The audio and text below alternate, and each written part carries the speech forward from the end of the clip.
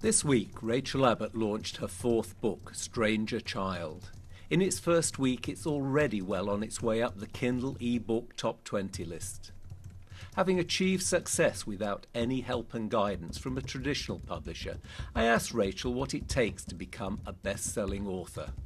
It takes a lot of hard work. To start off with, nobody had ever heard of me. And so the first thing I had to do was to raise awareness of myself and of my books. And that meant working long hours. Um, for about three months, I worked um, 14 hours a day, seven days a week, just to try to get my book noticed by people.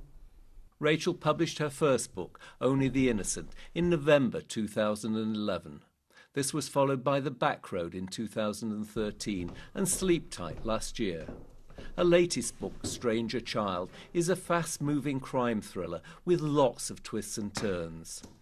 It's a really difficult one to describe because so much happens so early on in the book, so it's hard not to give too much away. But it begins with a woman driving home from a family party with her small daughter in the back of the car. There's a tragic accident and the mother dies, but when the police arrive, the child has disappeared. Born in Manchester, Rachel Abbott now lives, writes, and publishes her books from a historic Victorian fort here in Alderney. David Earl, BBC Channel Islands News, Alderney.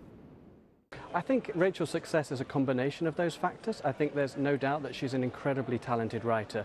When you read reader reviews on our website of her books, they're all so excited about her characterization, her plot development, the quality of her writing.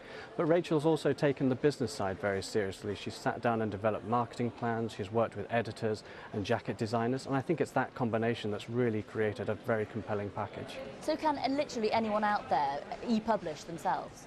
That's the joy of independent publishing is that it's open to everybody. Um, you, you can just upload your, your book content, you can make it available to readers all around the world and you have complete control. So you decide whether you have an editor involved, whether you have a jacket designer involved, and it's up to you to shape the story and the publication of that story in the way that suits you as a writer. So what's the best advice then for someone out there who has a story to tell but maybe hasn't written it yet? I think the best advice I can give is to write that story, to get the book ready in the way that you want it to be, take the time to craft the story in the way that you're happy with, and then press that publication button. We hear from so many authors who hesitate, who are very nervous about making that book available, but once they do, they never look back.